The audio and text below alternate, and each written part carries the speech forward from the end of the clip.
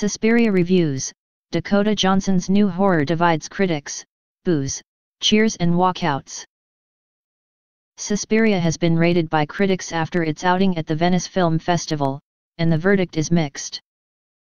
The Luca Guadagnino helmed remake currently has a 62% rating on Rotten Tomatoes, indicating a split reaction, but more positive than negative.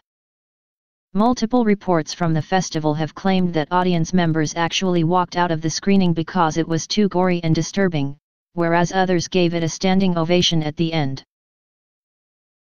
In a three-star write-up, The Guardian said, there are smart moments of fear and subliminal shivers of disquiet, the dance sequences are good and of course Guadagnino could never be anything other than an intelligent filmmaker.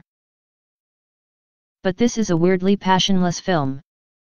The Telegraph gave a full five stars, saying, Suspiria draws a complex, provocative line through faith, politics, dance and, yes, witchcraft, in all cases, a group of resolute like minds can birth something more powerful and dangerous than themselves. Time Out agreed, writing, traditional horror fans won't be pleased, almost transgressively, Guadagnino has deprioritized the shocks, even the fear. But in their place, he's pumped up the exotic strangeness and crafted a movie you can get lost in, which is the ultimate tribute. Time magazine, meanwhile, did not take to the movie at all. They said, this new Suspiria is bland, grisly, boring, and silly. There is nothing poetic or erotic about it.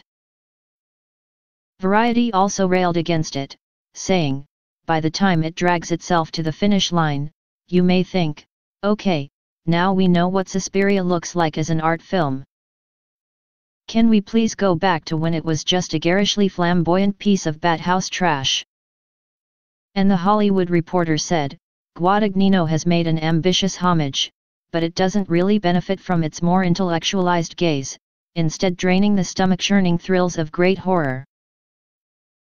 IndieWire gave an A grade, reasoning, Suspiria is a film of rare and unfettered madness, and it leaves behind a scalding message that's written in pain and blood, the future will be a nightmare if we can't take responsibility for the past. Dakota Johnson of Fifty Shades fame leads the cast, with Tilda Swinton and Chloe Grace Moretz also on board. Johnson revealed that she had to go into therapy when filming finished, because of the unsettling nature of the production. The original Suspiria is a cult classic, released back in 1977. This new version is out on November 2nd.